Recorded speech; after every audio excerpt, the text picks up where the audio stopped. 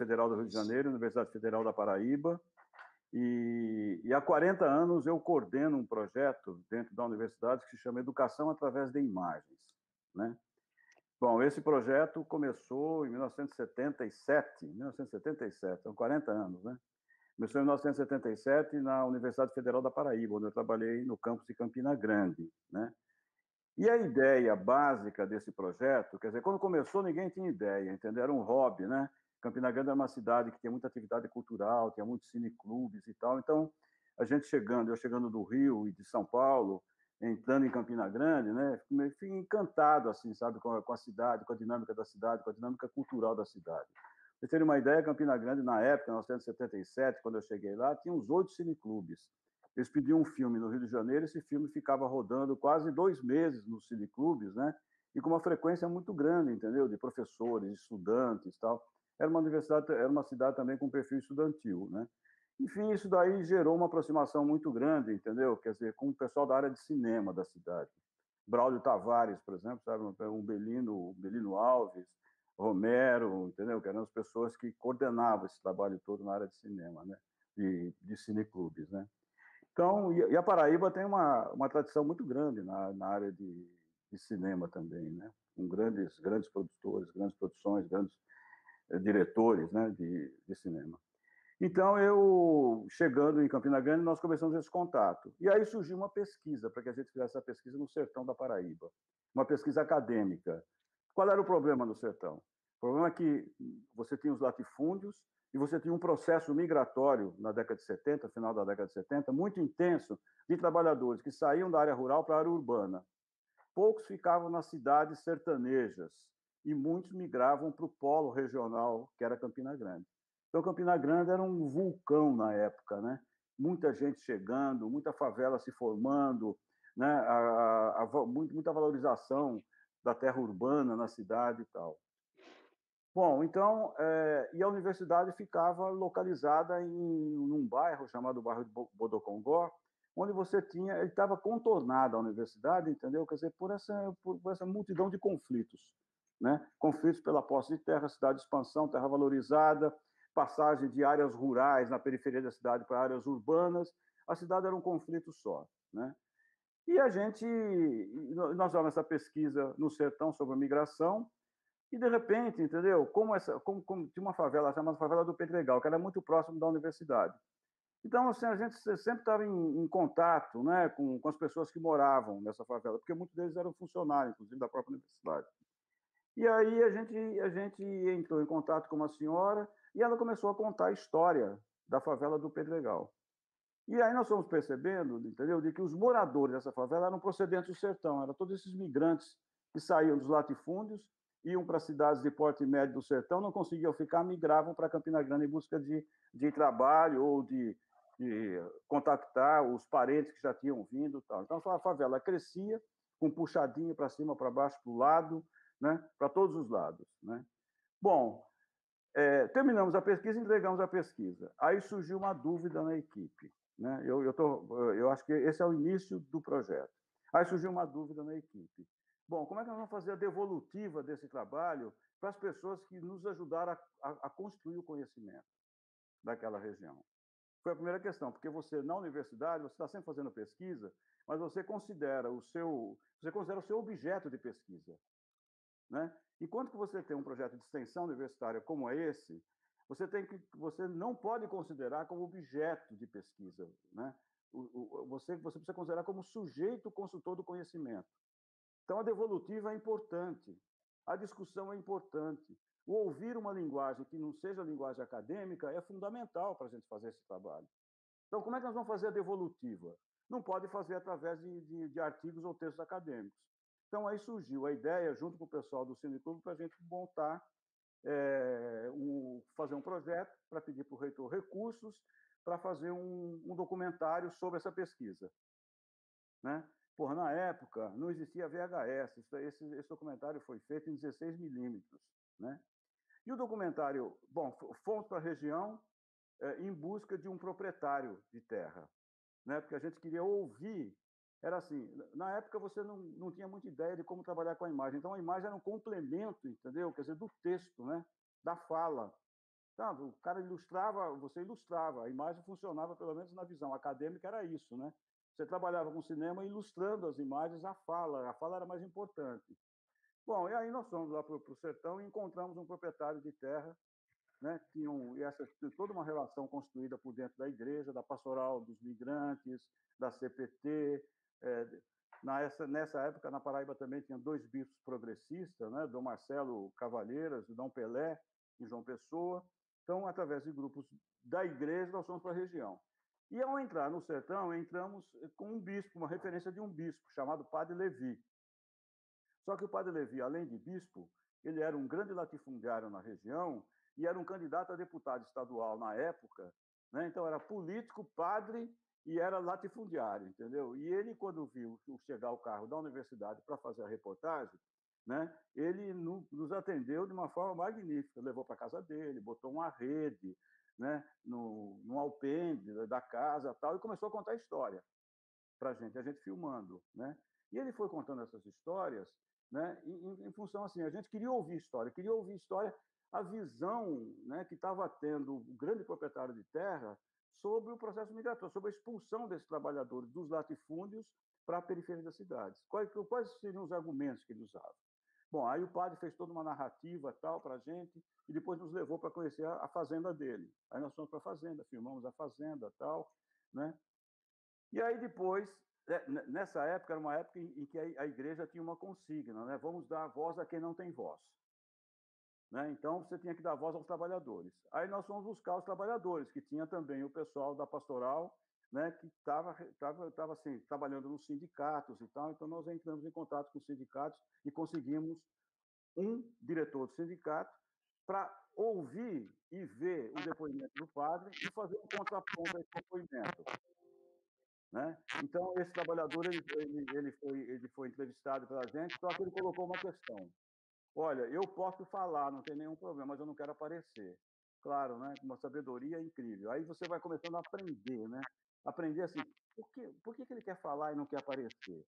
Claro, pô, estava tava no regime militar ainda, sabe? Estava contrapondo o argumento de um padre, não ia botar a cara a tapa, né? De qualquer jeito. Ele falou, não, eu posso fazer o contraponto, mas eu não quero aparecer. Bom, então essa história, né? É, a gente é, é um documentário que ele analisa uma situação da região, processo migratório, mudança na estrutura produtiva do latifúndio, do sertão, né? e, o, e as consequências dessa migração para uma cidade como Campina Grande. Né? Então, esse documentário ele foi terminado. E, e o documentário come, começa quando nós fomos para essa periferia de Campina Grande entrevistar uma senhora. E a senhora disse uma frase maravilhosa, entendeu? Que ela falou assim: olha, é, eu vou contar a minha vida. Eu morei no sertão da Paraíba, né? E, seu moço, eu vou lhe contar o seguinte: eu vou lhe contar a minha vida porque o, o que eu tenho para contar do sertão é isso. Essa última, essa última frase do depoimento dela virou o nome do filme, né? Chama o que eu conto do sertão é isso. Então eu queria passar um trailerzinho pequenininho de, de dois minutos e pouquinho, né, é, desse primeiro trabalho que nós fizemos. Então, desse primeiro trabalho, eu tiraria duas coisas essenciais. Né? E aí, pegando toda a metodologia do Paulo Freire e tal, né, a gente precisa aprender a escutar, escutar a história. A gente não pode considerar, a gente precisa deshierarquizar o saber acadêmico como saber que subordina os outros saberes. Né? A gente tem que tratar essa questão com igualdade, entendeu? Quer dizer, o saber fora da universidade é, talvez seja tão mais importante do que o próprio saber acadêmico. Né? E um projeto de extensão universitária ele tem esse desafio de você tratar uma relação para construir o conhecimento de sujeito para sujeito, não é sujeito para objeto de pesquisa. Quando você trata na pesquisa sem a extensão, né, a pesquisa vira uma forma de você ter uma ascensão profissional dentro da universidade, na carreira. Né? Porque você faz a pesquisa, vira mestre, depois vira doutor, depois faz artigos, participa de congresso e tal, e a devolutiva desse trabalho? Não existe. Né? Então, esse é um projeto de extensão universitária, que, que trouxe esse primeiro desafio para a gente. Né? Aí eu queria passar um tradezinho de dois minutos e pouquinho desse, desse, desse documentário, que foi o início desse projeto de que eu conto sertão é isso. É, com o filme que eu conto sertão é isso, esse projeto Educação através de Imagens.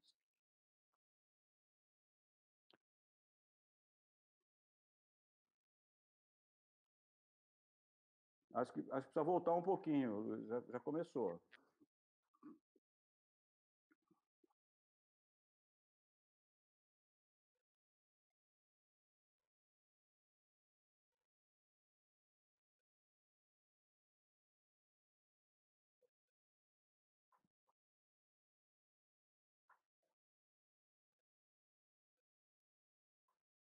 Sem som?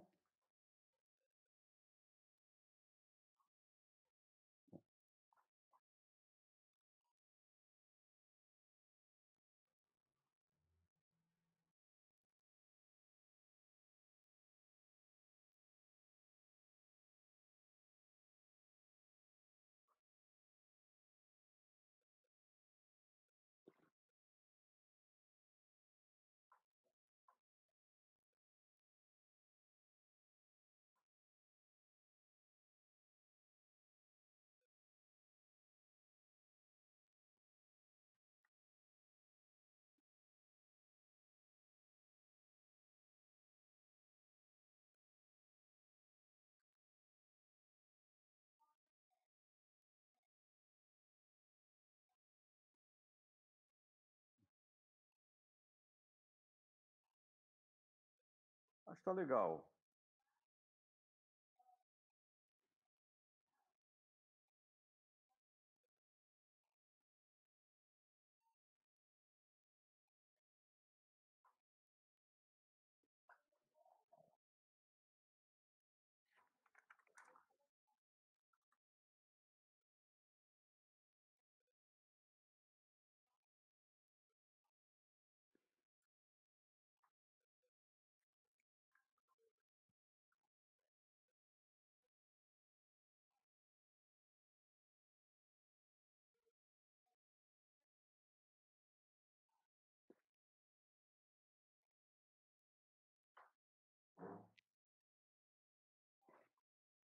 Pronto. Aí, estão me ouvindo? Estamos, estamos então, ouvindo. Tá. Pronto, então esse, esse daí foi o, o, primeiro documentário que nós fizemos, né? Então tá legal, ficou pronto o documentário e tal. E agora, o que nós vamos fazer com ele? Como é que nós vamos chegar na população, entendeu? Bom, aí no mestrado, eu era coordenador do mestrado na época, a gente abriu assim um tipo de uma caderneta, a gente chamava caderneta, em 1977, né? Era uma, os, os sindicatos ligavam para a universidade e falavam, olha, eu quero, eu quero ver aquele filme do padre, né? podemos agendar aqui uma exibição do filme do padre? Ah, podemos agendar, então vamos agendar o filme do padre. Aí o sindicato fazia divulgação lá, que ia ter cinema no sindicato tal. Eu botava o equipamento que tinha, era 16 milímetros, uma máquina super complicada, entendeu? Para exibir, eram rolos, não tinha o VHS na época, entendeu? Botava aquilo no carro, saía e ia para o sindicato sábado, dia de feira na cidade. Normalmente o sindicato nessas cidades pequenas fica em frente à feira da cidade. Fazia exibição, impressionante assim. A gente, aí eu comecei a perceber a reação do povo ao ver o padre, ao ver o filme, porque eles viam o padre na missa. Agora, ver o padre falando mal dos trabalhadores é uma outra coisa, entendeu? Gerava uma revolta neles. E é engraçado, porque passava, eles ficavam impactados com aquilo, terminava a sessão, eles saíam do sindicato e iam discutir na feira. Aí ficava a conversa lá, entendeu? Sobre o filme, sobre o padre, como o padre Levi né, pode, pode falar mal da gente dessa forma, querendo mandar a gente embora para botar gado na propriedade dele sem pagar os direitos. Né? Bom, isso daí teve uma certa difusão, porque passava num sindicato, as pessoas comentavam que era o filme do padre, o sindicato avisava o outro sindicato, o sindicato agendava tal. Com isso, eu percorri quase 80 sindicatos nos 170 e tantos municípios que tem na Paraíba.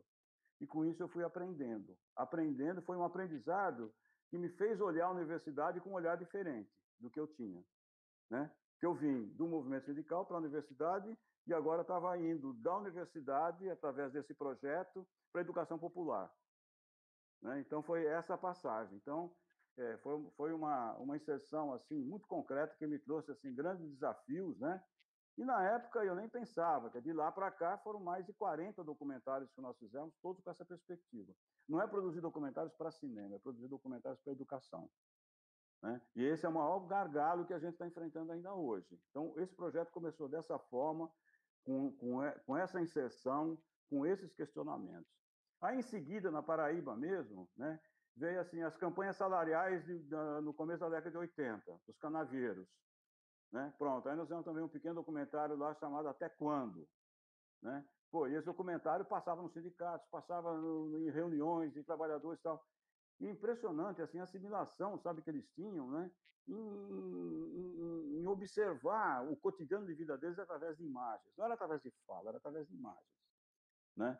Então, isso daí foi assim, dando para a gente, entendeu? Uma, uma, dando para a gente um aprendizado muito grande, né?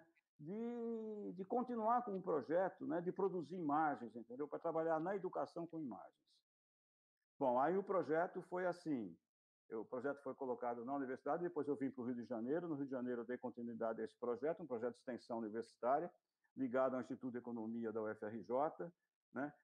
E aí começaram a aparecer, por exemplo, na, na década de 90, né, no período lá da, da elaboração do Estatuto da Criança e Adolescente, né, que foi em 1990, em 93 teve aquele problema na Candelária, aqui no Rio de Janeiro, né, que assassinaram os meninos, aquela, né? Bom, e aí, de repente, apareceu um tema que os movimentos trouxeram para a gente. Falaram assim, escuta, como é que é o problema da infância na área rural? Você, você tem uma visibilidade da questão urbana, o problema da criança em situação de rua, mas na área rural, como é que é? Pronto, aí a gente começou a atender essa demanda fazendo alguns documentários sobre a infância na área rural. Né? Então, fizemos, nessa época, uns quatro documentários. Aí, depois, é, em 1900 e 1980, 2000 e pouquinho, né, veio a, a questão da, da campanha salariais dos canaveiros em São Paulo. Né? É, no início do governo Lula, várias fiscalizações foram feitas pelo Ministério Público do Trabalho e foram constatando irregularidades né, entre é, do, do, não cumprimento dos direitos, é, precarização do trabalho na área canaveira, problema de problema de, dos migrantes né, que vinham cortar cana em São Paulo, dos alojamentos e tal. E aí surgiu uma demanda para a gente fazer documentários, uma série de, de documentários né, sobre as lutas dos trabalhadores na cana, como também sobre as questões das condições de trabalho desses trabalhadores, a precarização e intensificação desse trabalho nos canaviais. Né? Para atender quem? Para atender demandas do Ministério Público do Trabalho, que a gente não conhecia ainda essa realidade. Né? Então, então nós, nós, nós fizemos um mapeamento, uma parceria com o Ministério Público, para fazer, entendeu? Quer dizer, essa articulação e produzir um material que pudesse auxiliar os procuradores na fiscalização. Né? E aí, nós, aí tem uma série de, de documentários, todos esses documentários estão disponibilizados no YouTube. Mais recentemente surgiu um outro tema, né? que é o tema da é o tema do agrotóxico, a campanha nacional de combate ao agrotóxico. Agrotóxico é veneno. Né? Então, aí nós fizemos dois documentários também, um com o Vanderlei Pignatti, lá no Mato Grosso. Né? O Vanderlei Pignatti é um médico da Universidade Federal do Mato Grosso, tem uma pesquisa que ele fez pela Fiocruz, né? e essa pesquisa estava guardada. Então, aí nós começamos a estreitar uma relação com a Fiocruz, para discutir a questão do trabalho e da saúde do trabalhador e da saúde coletiva. Né? E nessa aproximação, que foi em 2012, esse primeiro esse, esse, esse documentário, é, até, até agora, até 2019, né, nós fizemos, um, nós fizemos uma, uma produção de documentários com a Fiocruz. Com que objetivo? O objetivo de você transformar a pesquisa acadêmica em imagem né, para que a, a, a sociedade tenha acesso aos resultados dessa pesquisa. Né? Quer dizer, e não vai ter através de uma linguagem acadêmica. Então, o desafio nosso agora, bom, tá legal, tem esse material produzido. Então, o projeto que eu coordeno é um projeto de produção, mas é um projeto também de distribuição né, e de orientação de como utilizar a imagem na educação. Bom, então, aí a gente tem ido para as escolas, entendeu? Quer dizer, para os grupos de pesquisas da universidade, atendendo as demandas, né? Para a gente exibir o documentário e construir conjuntamente uma metodologia de uso desses documentários. Né? Bom, é, com a Fiocruz, além, com, com a Fiocruz, eles indicaram lá quatro, quatro projetos. Né? Um deles foi esse do Vanderlei Pignatti, no Mato Grosso, sobre as consequências do uso do agrotóxico na lavoura de soja e de grãos, na saúde coletiva dos trabalhadores da região. Olha, tudo contaminado. E no meio ambiente, tudo contaminado. Poços artesianos contaminados tal. Isso daí, é, o resultado dessa pesquisa em imagem foi retratado num documentário que chama Nuvens de Veneno, que está no YouTube também. Bom, terminamos esse trabalho, Vanderlei Pignato pegou isso e começou a dar resultado, né? porque a campanha nacional do agrotóxico incorporou esse documentário, começamos a fazer assim várias, vários lançamentos em escolas públicas, escolas de ensino médio, distribuir esse material para professores e tal.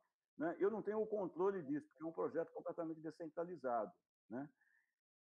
Bom, aí depois surgiu um outro, uma, uma outra demanda da Fiocruz, que é para fazer uma, um, um, documentário sobre uma pesquisa que estava sendo realizada por um médico junto às mulheres marisqueiras nos manguezais do Nordeste. Né? E ali tinha problema também de LER, DO, problemas de doenças do trabalho. Né? Bom, aí nós fomos lá para é, Dr. Paulo Pena, o nome dele, médico, professor da Universidade Federal da Bahia. Aí nós fomos para a região, fizemos um levantamento, tal, tal, e aí produzimos um outro documentário que se chama Mulheres das Águas. Né? Eu queria passar esse, o trailer desse documentário, que é sobre o trabalho das mulheres né, nos manguezais do Nordeste, e nesse, nesse documentário se discute a questão dos territórios. Os territórios que, dentro desse modelo econômico, estão sendo invadidos por grandes empresas né, e estão poluindo todos os manguezais. Então, aí vem um problema sério, ambiental, seríssimo, né, que as próprias mulheres levantaram esse problema no documentário. Né? Enfim, isso. Universidade Federal do Rio.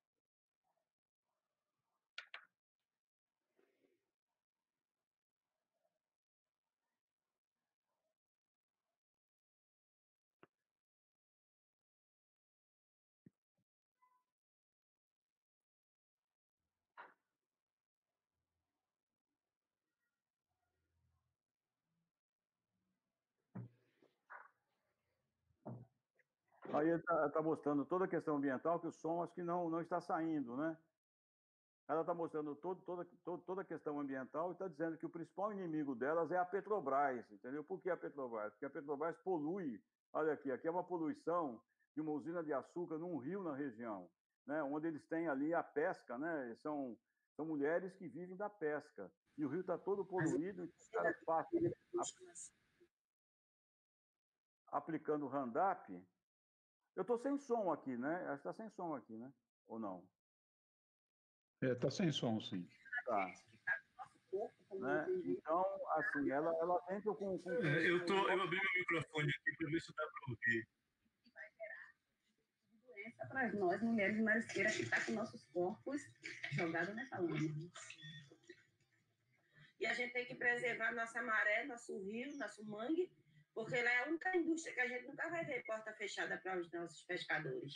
Então a gente não está lutando só pela qualidade de vida da gente, mas dos outros que comem o nosso pescado e que as feiras livres distribuem para toda a região e para todo canto.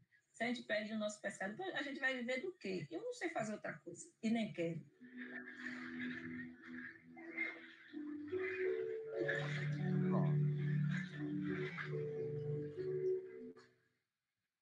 Pronto, e, e, eh, e, assim a gente vem. Assim Roberto, eu acho que vem... o pessoal na, na audiência está ouvindo. Hã? Diga.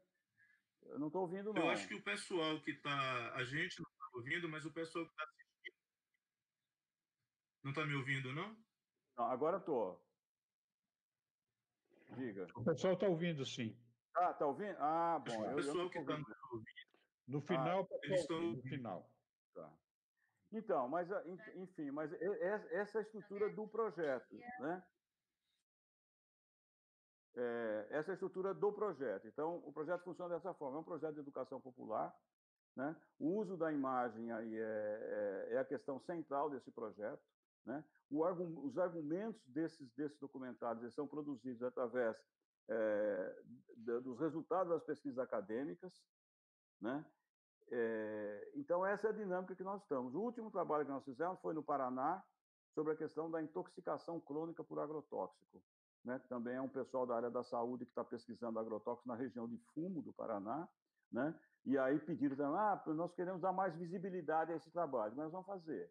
Vamos fazer um documentário, vamos fazer um documentário. Então, o Ministério Público do Trabalho apoiou o documentário, nós fizemos o documentário, chamou O Diagnóstico, né? Está lá também no YouTube, e agora nós temos esse documentário em dezembro, não houve ainda a possibilidade da gente fazer o lançamento, por causa da pandemia, né? Estamos fazendo o lançamento em algumas lives, mas a ideia é, é trabalhar presencialmente, levar esse documentário na escola para discutir o quê? Para discutir o agrotóxico é veneno, né? que é uma tese contrária àquela que os defensores do agronegócio colocam no cenário. Não, você pode usar o, o agrotóxico, você não tem nenhum nexo causal com, com o adoecimento.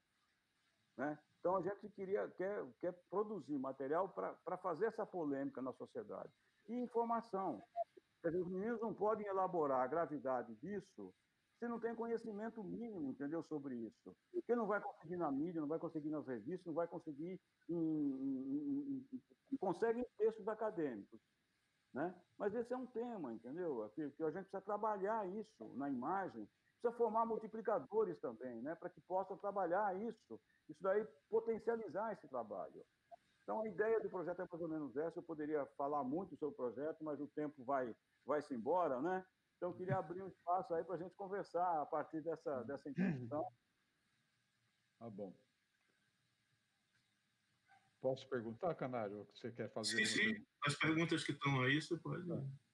É, não, eu vou fazer. Tem perguntas aí do, do, do, do público, mas eu queria fazer uma minha, assim, para ver o que você tem nós, assim, ah, vamos dizer, o, o, movimento político, não o movimento social, o movimento político, nós estamos acostumados com coisas assim grandiosas, né?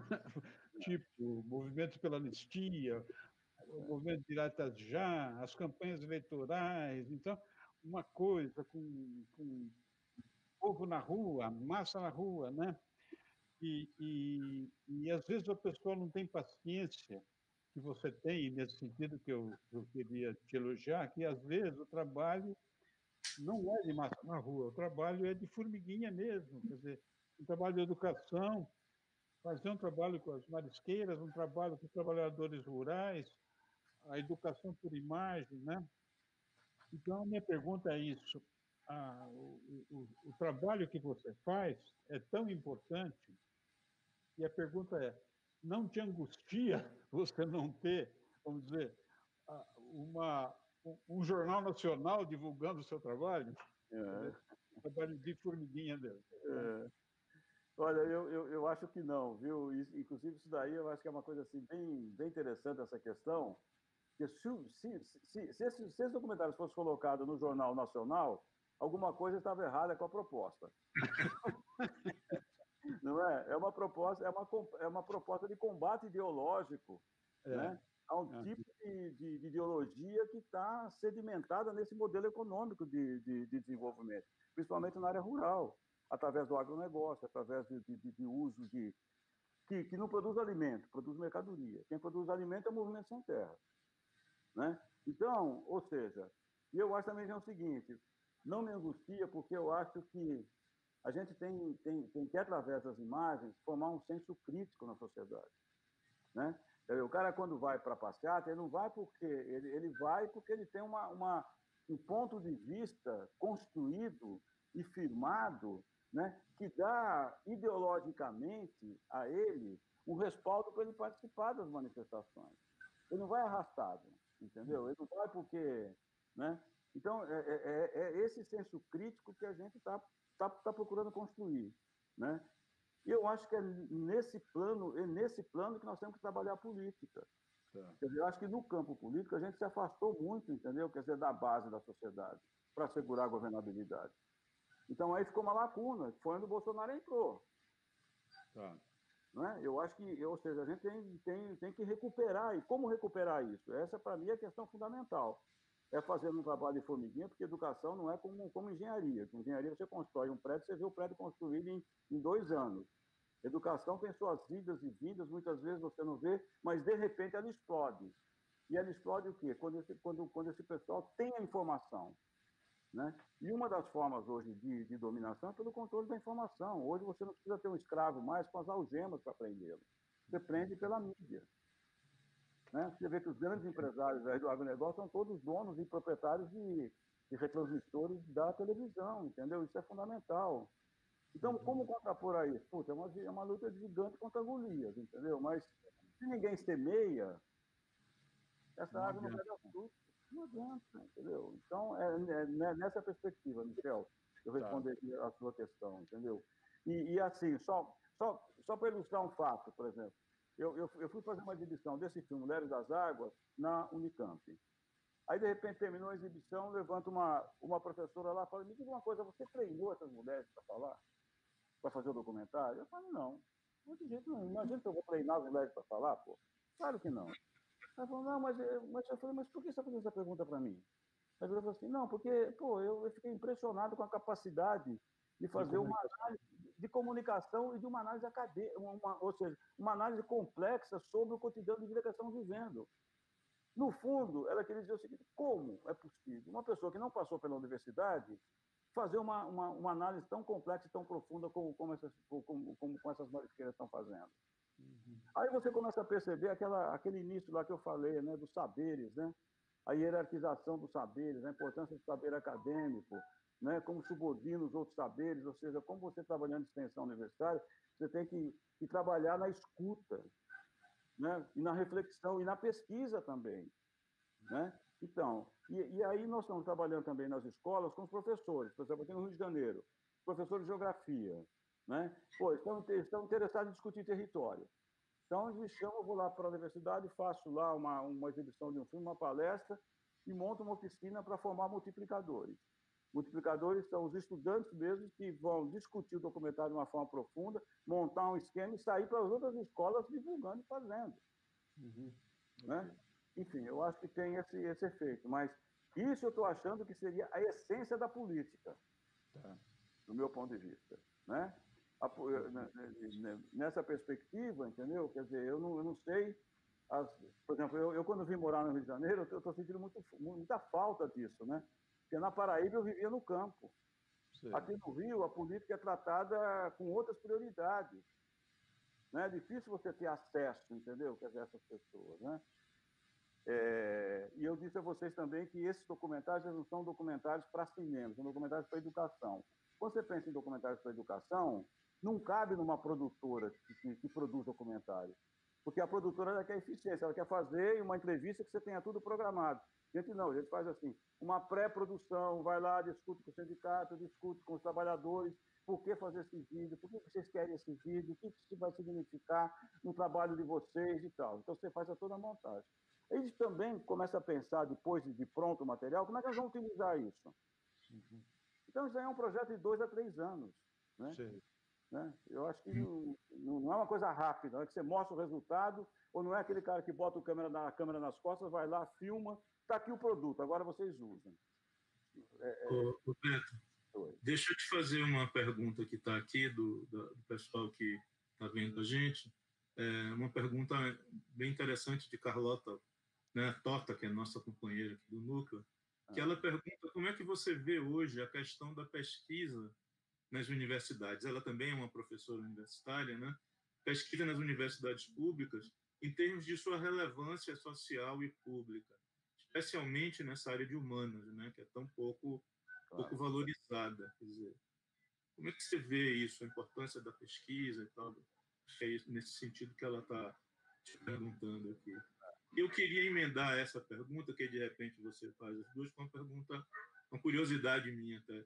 Esse trabalho que você pensa e você produz, é, você tem alguma referência daquele, daqueles trabalhos dos tempos lá do, dos anos 60 do, do Centro de Cultura Popular da Uni, que tinha umas propostas também de umas propostas de cultura um pouco parecidas com essa sua com a forma como você colocou aí o, o seu tá. trabalho. Ah, bom, tem, tem. Eu aprendi muito com, com o Eduardo Coutinho, né? Quando ele Cabra Marcado para Morrer, a gente morava na Paraíba, né? E nós compartilhamos com ele, entendeu? Quer dizer, toda a produção, localização de Dona Elizabeth, localização dos filhos e tal. Então, isso aí para mim foi uma escola, né? Achar os, os, os, os filmes né? que tinham sido enterrados, né? E, ou seja, isso daí foi para mim uma escola fundamental de, de aprendizado foi isso, foi, foi essa, né? Foi com Eduardo Coutinho, né? Bom, em relação às pesquisas acadêmicas, eu acho o seguinte, entendeu? Quer dizer, eu acho que a universidade ela tem que ser plural, né? A cada um pesquisa o que quer. Então, nós temos na universidade um embate ideológico muito grande com a questão do agrotóxico, por exemplo, né? Porque tem o pessoal uh, do agronegócio que está sendo pago a preço de ouro dentro das universidades para fazer pesquisa para descaracterizar o nexo causal de que o agrotóxico é, é, produz é, doenças. Então, essa é a ideia, é você desconectar, né, é, quer dizer, o nexo causal né, do, do efeito que ele provoca. Né? Então, por exemplo, nessa região de fumo, é impressionante. Por exemplo, os caras estão morrendo de câncer. Os maiores índices de câncer do estado do Paraná estão nessa região. Porque o fumo é uma lavoura que você precisa de, de usar muito agrotóxico durante todo o ciclo produtivo e diferentes tipos de agrotóxicos. Então o cara sai dali, porra, sabe, está intoxicado, intoxicação crônica, direto. Só que a intoxicação crônica ela é o gatilho para produzir o câncer, por exemplo. Então você vai no posto de atendimento básico, o médico ele não tem essa formação para detectar o que está submerso, o que está invisível. Ele vai tratar como câncer, ele morre de câncer. Mas o câncer foi originado, entendeu? Quer dizer, por esse tipo de coisa, né? É, bom, é, então, a pesquisa acadêmica, eu acho o seguinte, entendeu? Quer dizer, eu, eu fiz muito, muita pesquisa tradicional. Essa pesquisa mesmo que nós fizemos no sertão da Paraíba, né? Foi uma pesquisa assim, que nós fizemos, fizemos um relatório acadêmico, entregamos o relatório, foi muito bem, né? cumprimos todas as exigências do projeto tal. Bom, parou aí, terminou aí a nossa, a nossa função. Quando eu comecei a trabalhar com extensão universitária, eu comecei a ver a pesquisa de uma forma diferente também eu comecei a ver a pesquisa a partir da extensão universitária. Né? Ah, porque a, a extensão é a forma pela qual, e a imagem na extensão é a forma pela qual você integra dentro da universidade as atividades de ensino, pesquisa e extensão. Ou seja, a universidade não faz pesquisa, o conhecimento não faz pesquisa, faz pesquisa, mas a participação dos estudantes na pesquisa é mínima. Eu, por exemplo, quando dei aula aqui na sociologia, por exemplo, tinha 60 alunos numa turma, tinha três bolsistas só que recebiam recursos para participar de pesquisa. Tinha quatro. Né? O ensino, o aprendizado era feito como? O aprendizado era feito através de, através de, de, de leituras de textos de livros. A Xerox funcionava perfeitamente, porque senão os meninos não tinham material reproduzido. Né? E se você quisesse parar a universidade, era você parar a Xerox, que, né, que ninguém tinha o que ler, o professor não podia dar aula. Né? Então, eu, eu acho assim, eu acho, eu acho que a pesquisa é fundamental. Mas, além da pesquisa, a gente tem que pesquisar para quem, por quê e como. Qual a evolutiva que a gente vai, vai, vai dar a, a, aquele segmento social, aquelas pessoas que ajudaram a gente a construir o conhecimento, mas que não desfrutam desse conhecimento. A gente se apropria que eu falo. Roberto, tem uma pergunta aí de um dos nossos espectadores que fala sobre o desmonte, de um modo geral, da cultura, e, e o governo colocando pessoas como Regina Duarte, enfim, na, na, pra, e outros assim da mesma linha. Ah, como é que você vê a resistência em não deixar a cultura ser desmontada no Brasil de Bolsonaro? É, eu acho, eu acho difícil. Eu acho que a gente tem, tem, tem que trabalhar mais e muito e acreditar no nosso trabalho, entendeu? Quer dizer, eu, eu não estou, eu te juro, nessa, nessa fase da minha vida, né, eu, eu não estou muito assim para, é, para, ou seja, para discutir a política dentro da oficialidade da política, né? Eu sei que o, Bolsonaro ele pode, ele tem ainda campo para nos levar mais fundo nesse poço. Né? E, e, eu não tenho nenhuma expectativa de que ele vai mudar, de que, os, de que a, as articulações que ele faz, entendeu? Sabe, com setores de classe e tal, isso daí vem a nosso benefício. Não vem. Então, eu prefiro focar, eu falo assim, olha, uma, uma, uma das questões centrais né, que a gente pode colaborar é nesse trabalho de educação de base. Tá. Entendeu? Então, eu quero entender a política nessa perspectiva. A cultura é fundamental para isso. Por exemplo, nós, nós, tem um, no YouTube, tem lá uma, é, um, uma produção que nós fizemos chamada Mamulengo. A gente estava em Teresina filmando um, cenas lá para um filme chamado Migrantes, que era os jovens que saíam do Nordeste, Maranhão do Piauí, para Cotacante, São Paulo. Aí era um domingo, a gente não tinha muito o que fazer, fomos para a feira. Aí na feira tinha um cara fazendo teatro de Mamulengo, que são aqueles bonecos, né? O cara abre uma mala, tira os bonecos e começa a contar uma história. Nós achamos interessante a história, então assim, pô, você não quer filmar isso? Nós estamos aqui fazendo um filme e tal. Ele falou, eu filme, eu filmo, não tem nenhum problema não, mas eu, é, é minha arte, eu quero ganhar. Tá legal, a gente estava sendo financiado pelo Ministério da Educação, tinha um recurso, vamos pagar. Quanto é para você fazer o espetáculo? 10 minutos. Você vai fazer em 10 minutos. Eu, eu, eu quero 500 reais para fazer em 10 minutos. Tá legal. Fomos no fundo do quintal da casa de uma freirinha, lá na periferia de Teresina. O cara abriu a mala, montou o cenário, tá, falou, deu um mote. Aí a gente deu. Olha, são jovens migrantes que saem do Maranhão, do Piauí, para cortar cana em São Paulo. Né? Faça isso em 10 minutos. Conta uma história desse negócio. Quero ver o que o artista popular está pensando desse processo. Pô, o cara fez uma coisa genial. Está no YouTube, entendeu? Assim, em, em 10 minutos, ele fez uma tese de doutorado. Se você vê o, o conteúdo desse trabalho, né? É uma, em, em, sabe, em termos assim culturais, é uma coisa fantástica. Gostamos tanto dessa experiência que fomos lá procurar um violeiro, um repentista. Aí o cara falou, deu mote, aí demos um mote. Quanto é para fazer? 500 reais, tá legal. Deu mote, demos um mote, o mesmo mote, né? São trabalhadores jovens que saem do Maranhão, do Piauí, para cortar cana em São Paulo. Pô, o cara fez 28 repente, 28 estrofes de um repente, que é uma coisa maravilhosa. Né? Vocês podem ver isso no YouTube, está lá, Repentista e Teatro Mamulengo, né? em filmografia Beto Novaes, entendeu? Então, ou seja, a gente valoriza muito esse aspecto. Aí depois, é, o violeiro era presidente da Federação dos Repentistas do Nordeste. Bom, o cara pegou esse negócio todo e fez um caderninho de repente, entendeu, para vender nas feiras, né? Sobre o tema que ele tinha feito. Né? Então, ou seja, você tem um, uma potencialidade né, inexplorada, inexplorada, né? E, ou seja, que a gente tem que entrar, né? Por exemplo, é, um, um outro caso. Tem mais alguma questão? O pessoal foi contando história aqui, hein? É, é, por exemplo, tem um. Em... Roberto, eu queria aproveitar só o que você está falando para você, dentro desse mesmo fio aí, você falou um negócio que eu acho que é assim, fundamental, né?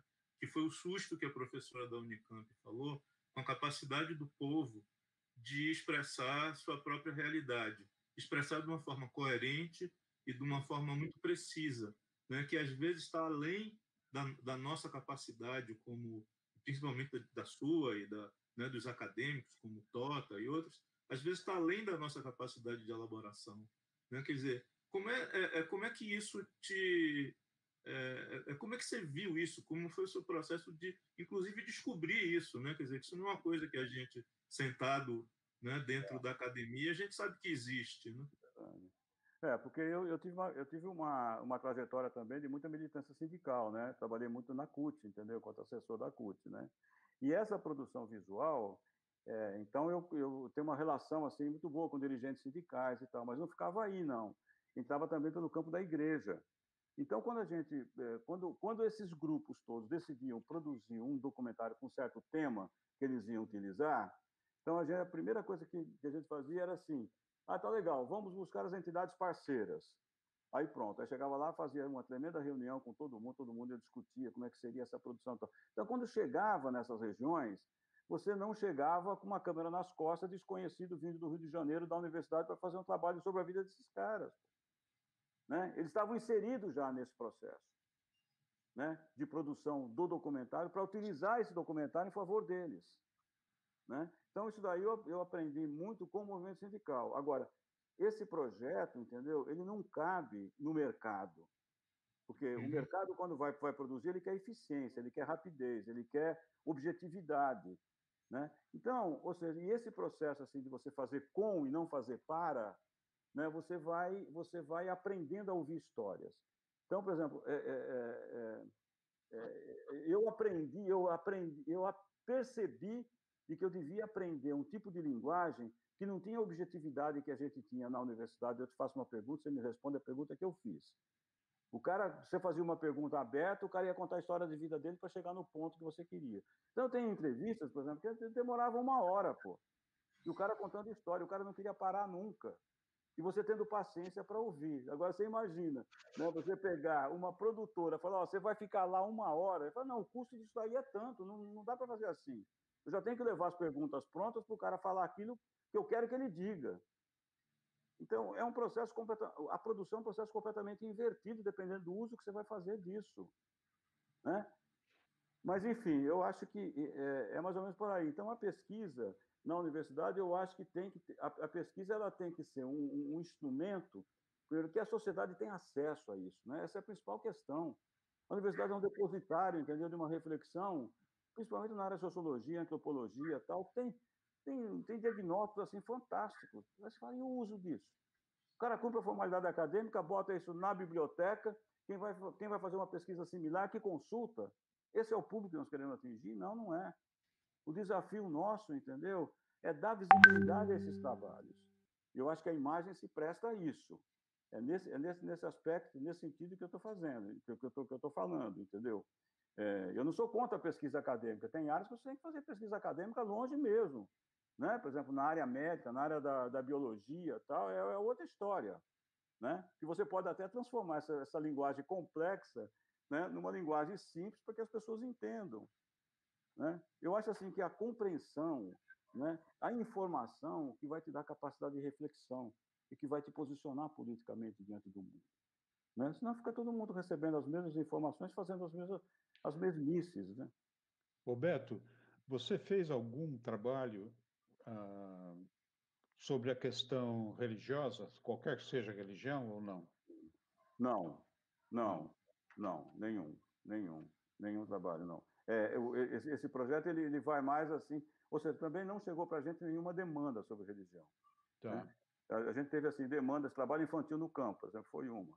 Né? Problema lá que eu, que eu, que eu contei para vocês, a, diante da, da, da, elaboração do Estatuto da Criança e Adolescente, essa, essa, essa foi uma questão da sociedade que veio parar para a gente. Dos canaveiros, a sociedade que veio parar para a gente. Do agrotóxico que veio parar para a gente. Então, eles começaram a demandar. E aí eu acho que cria uma relação legal entre a academia e o movimento social. Entendeu? Porque você, você cruza as linguagens e as demandas, e você faz a devolutiva numa linguagem acessível, né? que não é nem, me, nem melhor e nem pior do que a linguagem acadêmica. É diferente. Tá.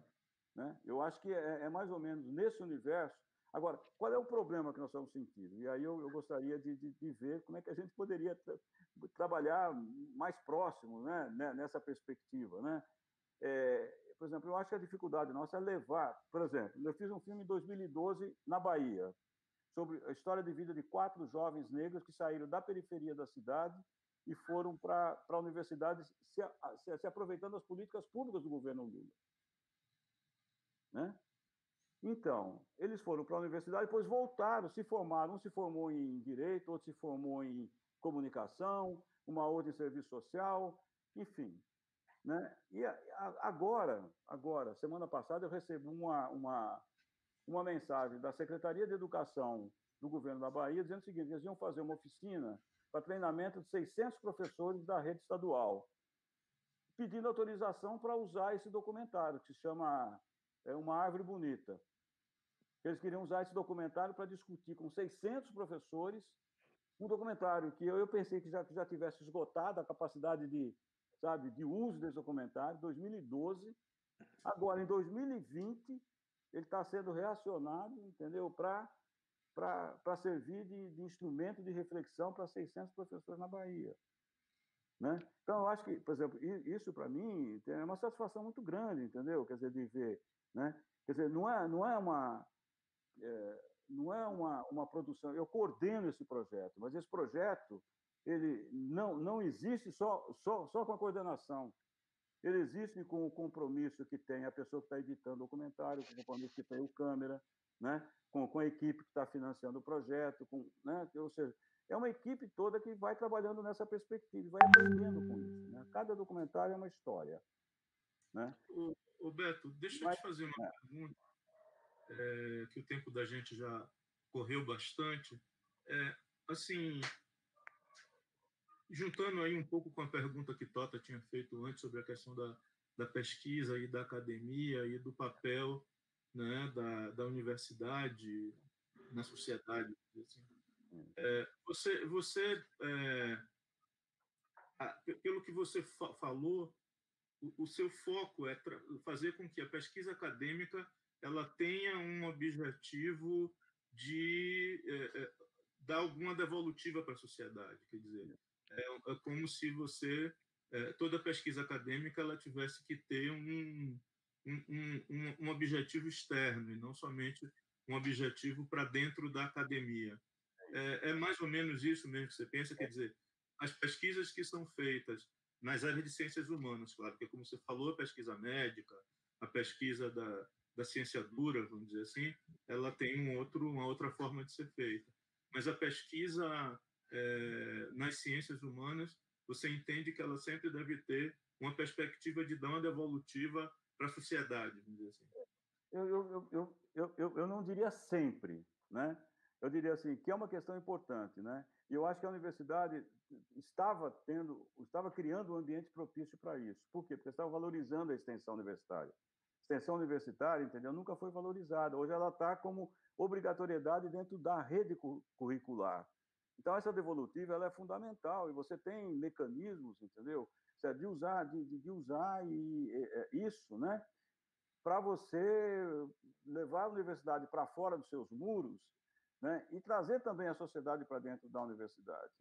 Né? Eu acho que é, o projeto ele, ele trabalha nessa, nessa interseção, né? com esses objetivos, né? e com objetivos da formação política também. Né? Eu acho que se, né, que se você não compartilha saberes, não compartilha conhecimento, né? ou seja, é difícil você formar politicamente através de receituários, né? ou através, por exemplo, eu fui, eu fui, eu fui assessor do movimento sindical. Aí eu participei de sessões em, em São Paulo, aqui no Rio mesmo, que quem fazia análise de, de conjuntura era o assessor, pô. Sabe? E os caras vivendo essa conjuntura, né? principalmente na área rural, pô. os caras dentro desse cotidiano, de luta, de pressão, de violência tal.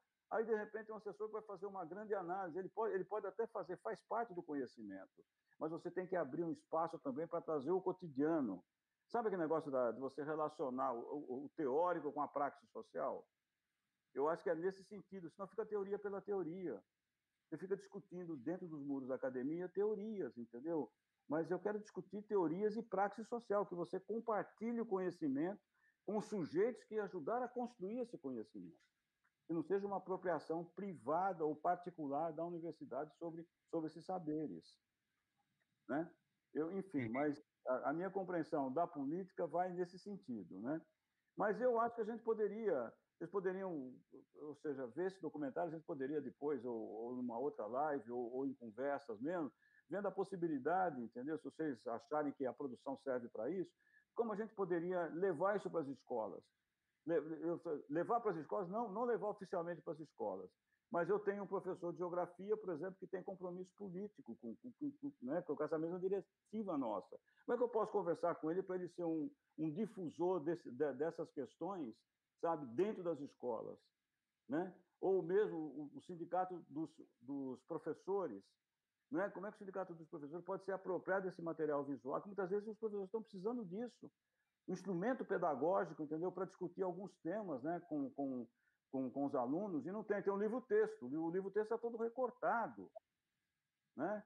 Ou seja, dificilmente você vai conseguir uma formação crítica, sabe? Só tendo como referência o livro-texto. Né? Uhum. Né? Mas, enfim, então, é, é, é, mais ou menos nessa perspectiva né, que, que eu tenho trabalhado, entendeu?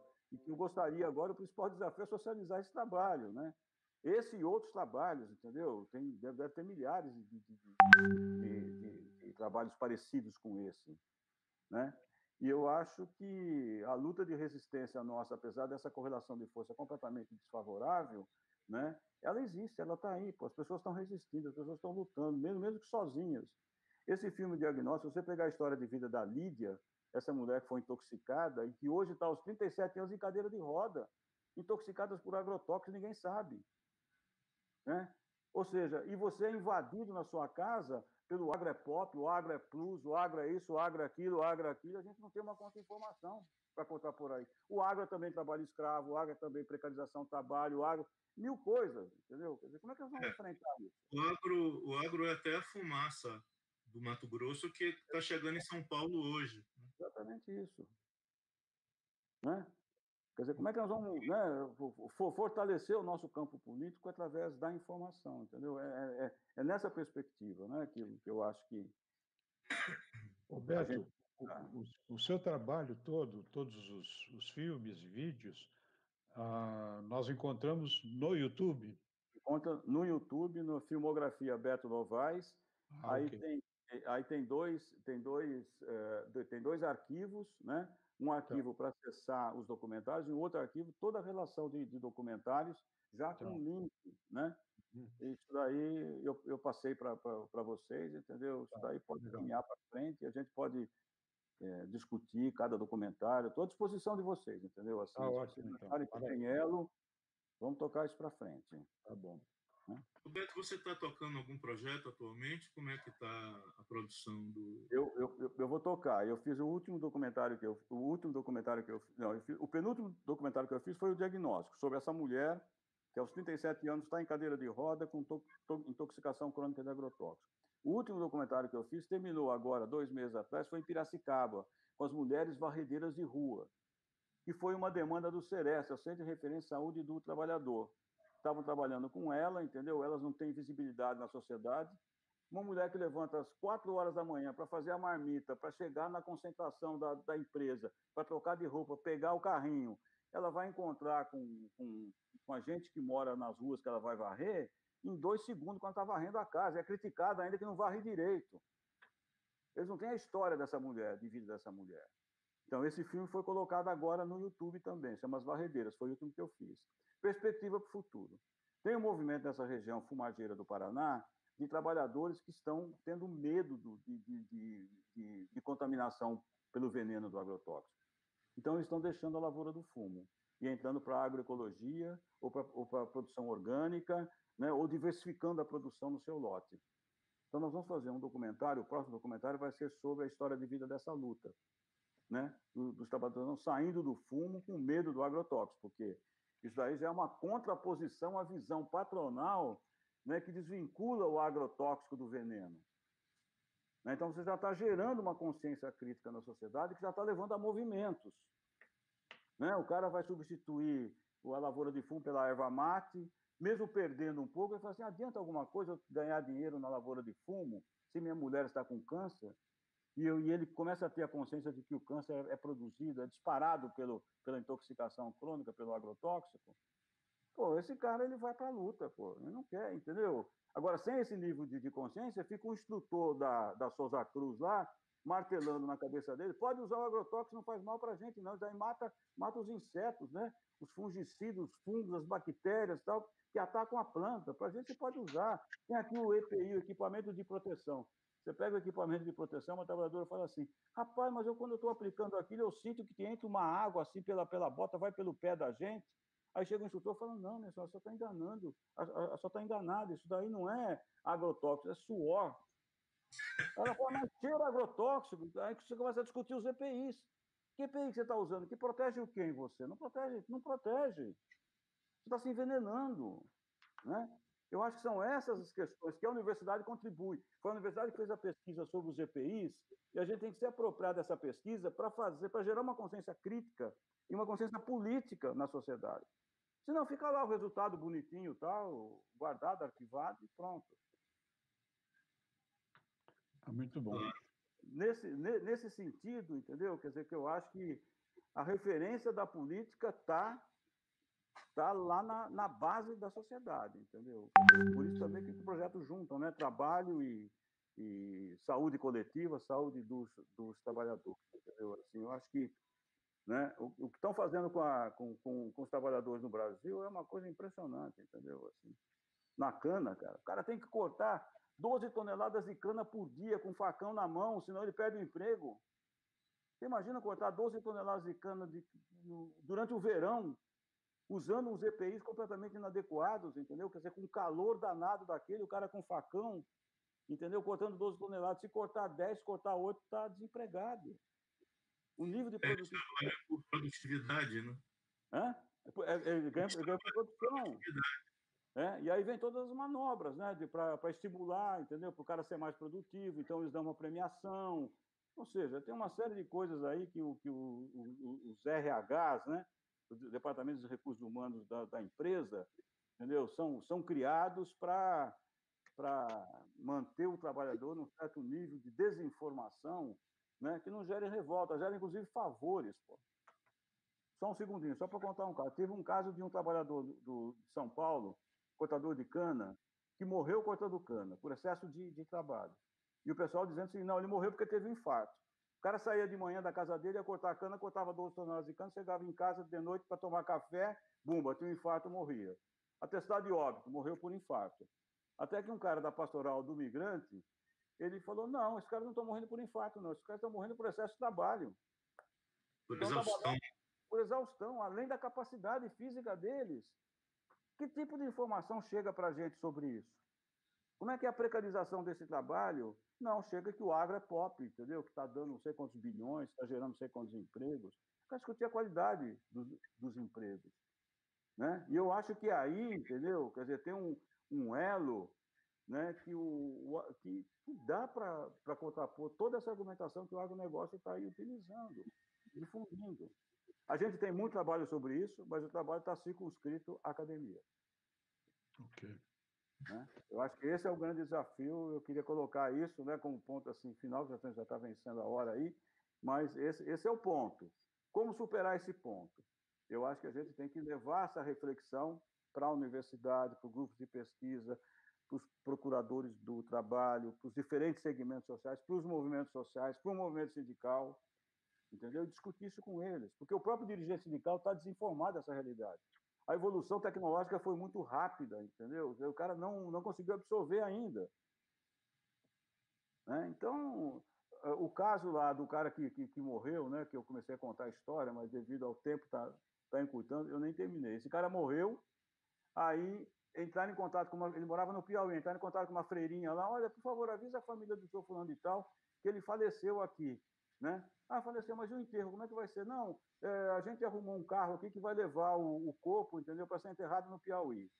Bom, aí a freirinha foi lá depois de, um, de uma semana, né, de, do, do, enterro, desse, desse cerimonial todo, foi lá na casa dar um apoio para a família tal, e a mulher, a viúva, estava lá. E a, e a, freira perguntou, a freira que me contou isso.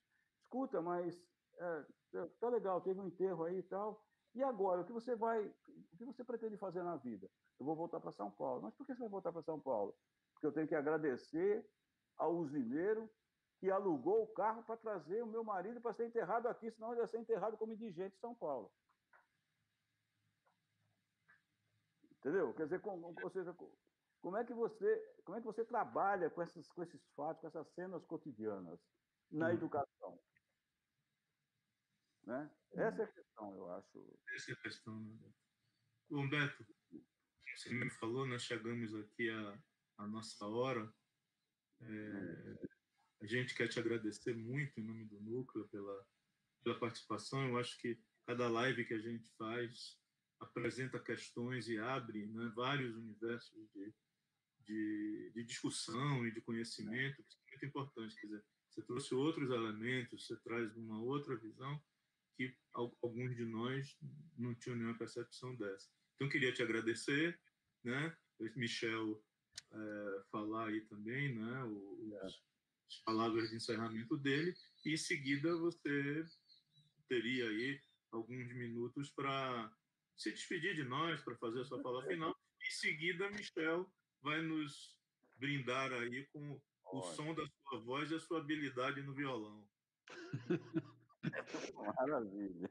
Bom, uh, queria, quero agradecer ao Beto mais uma vez e contar aí para o Canário e para os demais. O Beto e eu, nós temos exatamente a mesma idade e nascemos na mesma cidade, em São Carlos. E, mas só nos conhecemos como adulto depois por outras por outros caminhos, né? É. E a gente não se conheceu talvez porque o Beto fosse da burguesia, estudava no diocesano, e, e eu era do proletariado, estudava no colégio do Estado. É. Realmente, nós não nos conhecemos. E São Carlos, na época, era pequeno, né, Beto? É, é. Nós ficamos amigos apenas depois como adultos, né? Foi. Foi. Agradeço mais uma vez aí, desculpe a brincadeira. Oh, é isso, né? São Carlos traz grandes recordações, né? É, é verdade. Então, mas, enfim, pô, eu quero agradecer a oportunidade, né, de, de conversar com vocês, de refletir com vocês sobre esse trabalho, entendeu? E, ou seja, o tempo é muito curto, né? Porque, é, mas tá ótimo. Mas, mas né, eu acho que a ideia está aí, a gente lança uma ideia e depois vamos atrás, né? Eu acho que a gente poderia pensar em desdobramento disso, em aprofundar alguns trabalhos. Eu estou assim à disposição, entendeu? Como aposentado, né? Eu, eu me sinto assim um, um tanto que privilegiado nesse sentido, né? Uhum. Eu tô, enfim, eu, eu, eu, posso atender demandas e eu estou assim, tempo de, dedicado exclusivamente a esse trabalho, né? Okay. Porque eu acho que tem um potencial aí grande, entendeu? Para a gente né, é, conversar, discutir e, e semear eu acho que essa é a palavra. Né? Ninguém está esperando daqui a dois dias resolver tudo isso, não, mas se a gente não semear, nós nunca vamos resolver. Legal. Obrigado tá pelo convite. Vamos Michel. ouvir Michel. É, eu vou, eu vou cantar uma música do Pedrão do Maranhão. O Pedrão do Maranhão trabalhava com cultura popular no Maranhão. Depois ele veio para São Paulo e participou de artes, música, teatro, no Morro do Querosene, que é uma região na zona oeste de São Paulo. E depois ele foi para a França, mora na França hoje, né? Mas deixou algumas raízes, eu vou cantar uma música dele, ah, chamada Imburimburama. Imbirimburama, pau d'arco roxo, castanha caju, raiz fedegoso, barba de bode, mato cheiroso, arruda guiné na porta da sala, no canto uma vela, um santuário, uma imagem de Cristo, uma estátua de Jorge, no canto só ouvia uma reza na sala, em Birimburana, partiu sem eu ver. Em Mirimburana, pau d'arco roxo, castanha, caju, país fedegoso, baba de bode, mato cheiroso, arruda guiné na porta da sala, no canto uma reza, um santuário, uma imagem de Cristo, uma estátua de Jorge, no canto da sala, se ouvia uma reza, em Mirimburana, partiu sem eu ver. Boa. Maravilha, Michel. Obrigado. Obrigado, é Michel. Muito Obrigado, bem. Beto. Olha, um grande abraço para vocês. Tá. Um e... grande abraço aí. Tocamos a vida. Tá, brigadão, Beto. Tá, um abração. Outro. Um abraço, tchau, tchau, tchau pessoal.